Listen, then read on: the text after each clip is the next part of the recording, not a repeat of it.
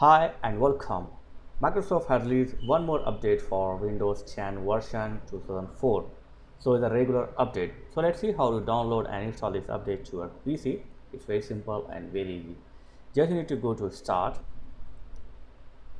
and then click on setting. Click on update and security. Now click on check for update so it will give the latest update for your pc so here you can see the update is available.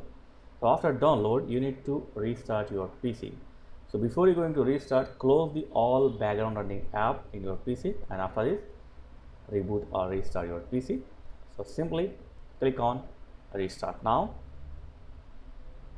Okay. Just click on that. And that's it your PC will restart and start to applying the updates. So while updating, don't turn off your laptop or PC.